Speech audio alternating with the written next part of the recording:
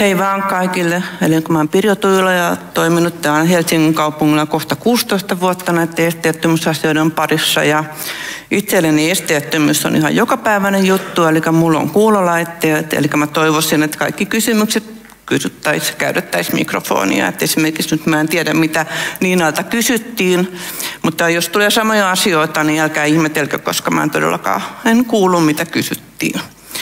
Ja nämä mun kommentit on ehkä enemmän tämmöisiä, mihin niin törmää joka päivä eri hankkeissa ja mitä muuta kysytään paljon.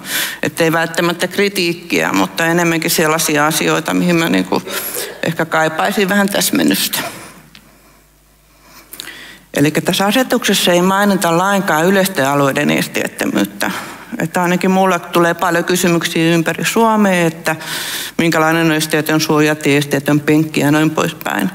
Ja olen itse aikoinaan toiminut tässä Suraku-projektissa, mikä on ulkoalueiden esteettömyysohjeisto, niin siinä projektipäällikkönä, että minulla olisi harras toive, että päättäisiin joskus niin pitkälle, että myöskin ulkoalueet saataisiin määräyksiin tai ainakin sitovia vaatimuksia.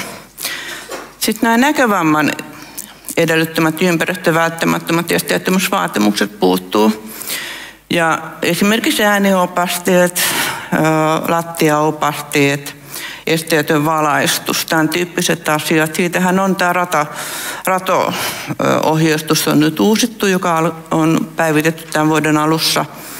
Mutta me silti kaipaisin, että siellä olisi ainakin jotain niin kuin viittauksia sitten niihin, että mistä se tieto löytyy. Samoin opastukseen ja opasteisiin liittyvä normisto on sellainen, mihin törmää melkein joka hankkeessa. Ja on itsekin olin mukana, kun kaksi RT-korttia valmistui viime marraskuussa. Mutta ainakin siihen teidän niin ohjeeseen tulisi mainintaa, että mistä ne löytyy. Että olisi toive, että nämä edellä listatut asiat olisi hyvä lisätä siihen ympäristöministeriön ohjeeseen. Sitten asetuksen soveltaminen muissa kuin uuden rakennuksen rakentamisen tilanteessa rajoittuu rakennusluvan kohteena olevien toimenpiteen piirissä olevien rakennuksen osiin. Esimerkiksi jos rakennusluvan varainen korjaustoimenpide kohdistuu hallintorakennuksen eteis- ja aulatiloihin ja sen yhteydessä esteettömyyden parantaminen arvioidaan olevan tarkoituksenmukaista. Asetusta sovelletaan eteis- ja aulatilojen korjauksiin, jos mä nyt ymmärtänyt oikein. Ja asetuksen soveltaminen ei kuitenkaan tällöin ulotu eteis- ja aulatilojen ulkopuolelle tiloihin, jossa ei tehdä kyseisen luvan piirissä olevia toimenpiteitä. Et mä nyt lähinnä ajattelen sitä, että jos on esimerkiksi kysymyksessä julkinen rakennus ja siellä eteistä ja aulatiloissa on vaikka asiakaspalvelu, niin näkisin, että se olisi järkevää, että myöskin niiden yhteydessä olisi esteetön WC. Että jos mä ymmärsin oikein, niin ainoastaan niin se aulatilat korjataan, mutta ei kuitenkaan vaadita, että siellä on esteetön vessa. Tai sitten sitä olemassa olemaa vessaa pitäisi muuttaa esteettömäksi. Että tästä olisi varmaan hyvä jotenkin vähän täsmentää. Ja sitten asuinkerrostalojen osaltaan huomattava, että asetuksen soveltaminen muuhun kuin uuden rakennuksen rakentamiseen on rajattu rakennuksen yleisiin tiloihin, eikä näin ole koska esimerkiksi yksittäisen asunnon hygieniatilojen muutostöitä. Et mulla tulee aika paljon tulee siitä tota, kysymyksiä, kun on putkiremontti. Ne saattaa se lattia pinta nousta niin paljon, että ei enää olekaan esteitä. Ja mitä sitten tehdään, jos ei sitten ole tilaa niin kuin rakentaa luiskaa. Sitten tämmöinen, mitä vähän ihmetytti ja mietitytti, oli se, että rakennuksen johtavan kulkuväylän leveydyksen määritelty 1200. Kuitenkin kaikki tiedetään, että 1500 on vähintään se minimi, että saa pyörätolin käännettyä, tai sitten jos tulee vaikka, jos on palvelutalo, niin kaksi apuvälineen käyttäjä kohtaa, niin kumpi peruuttaa tai mitä, mitä tilon tehdään. Eli mä ehdottaisin sellaista, että kun Suraku-projektissa talvikunnassa pidetyn reitin leveydyksi määritettiin 2300, niin tämä ainakin lisättäisiin sinne teidän ohjeeseen. Sitten myöskin tämä, että sulkotilassa sijaitsevan kulkuväylän kaltavuus saa olla enintään 5 prosenttia – ja asetuksessa ei ole esitetty, miten toimitaan, jos maastomuodot ei mahdollista tätä. Ja siitä olisi hyvä niin kuin täsmentää sekä ympäristöministeriön että sitten tässä Helsingin kaupungin ohjeessa, että, että mikä, mikä sitten niin kuin tapahtuu.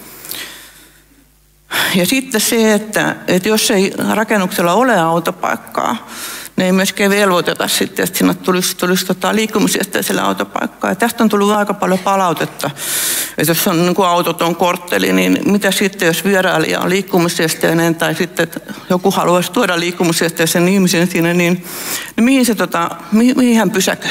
Mihin, mihin se auto laitetaan vai kelaakohan sitten viekö sen auton jonnekin muualle ja kelaa sen sitten sen korttelin pituuden. Että, että tässä olisi ainakin hyvä saada jonkunlainen, että onko mitään niin kuin vaihtoehtoa tai, tai miten toimitaan.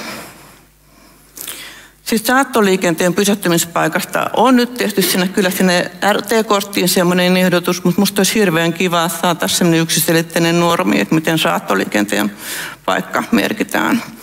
Sitten tämä 400 milliä sen oven avautumispuolella on erittäin hyvä asia, koska se helpottaa sen oven avaamista myöskin silloin, jos on apuvälineiden käyttäjä.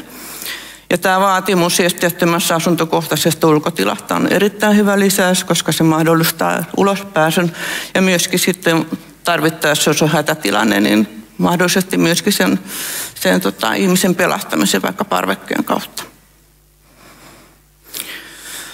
Sitten ei ole määritelty tätä WC-tilojen määrää.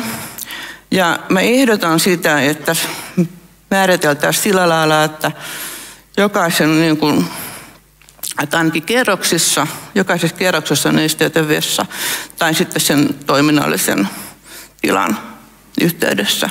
Ja sitten määriteltäisiin mikä on esteetön WC. Et mä esimerkiksi silloin, jos on peruskorjaushanke ja se on vaikka suojeltu se rakennus, niin mä ehdotan mieluummin sitä, että on kaksi toispuolista vessaa, kun on yksi esteetön, iso molemmin puolen käytettävä vessa, jos tilaa on vähän. Ja en malta olla mainottamatta, että me ollaan Invalidiliiton kanssa tehty tämmöinen vessaopas, joka löytyy Helsinki kaikille sivulta. Googlaatte Helsinki kaikille, niin se on viime viikolla laitettu sekä Invalidiliiton että meidän sivuille. Ja siellä on käyty hyviä käytäntöjä läpi. Sitten ei ole myöskään määritelty näitä viesietilojen varusteita.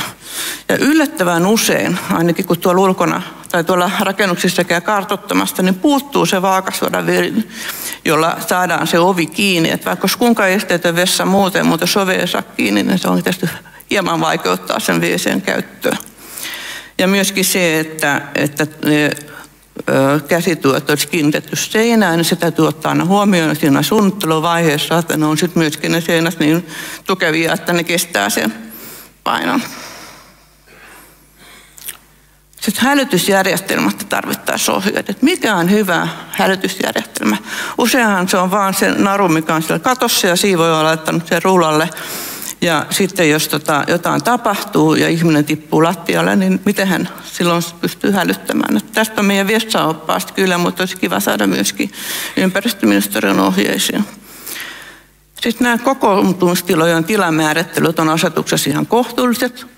Mutta esimerkiksi, mä en tiedä kuinka moni kuulo, on muu on, teistä on kuulovammainen ja koke, yrittänyt kuulla vaikka tuolla Helsingin rautatieasemalla kuulutusta, että, että mitä sanotaan. Eli olisi aina hyvä, että myöskin metrobussi ja rautatieasemien odotustilat ja myöskin juna niin kuin raiteella olisi ainakin joku paikka, missä induktiosilmukka. Mä oon joskus mennyt väärään suuntaan junassa, koska mä luulin, että kaikki, katovat kaikki muut ihmiset menee tonne, koska en saanut kuulutukset mitään selvää. Tämä on, tämä on sellainen asia, mitä kannattaa miettiä. Ja sitten myöskin nämä vanhuspalveluyksiköiden kokoontumistilat, kerhotilat ja tämmöiset on usein sellaisia, missä ei ole kiinteitä äänentoistoa, mutta kuitenkin monet ikääntyneet ja liikkumistoimiset kokoontuu, niin se olisi hyvä saada mukaan sinne teidän ohjeessa. Mutta tässä oli nyt tämä mun osuus, onko jollain jotain kysyttävää?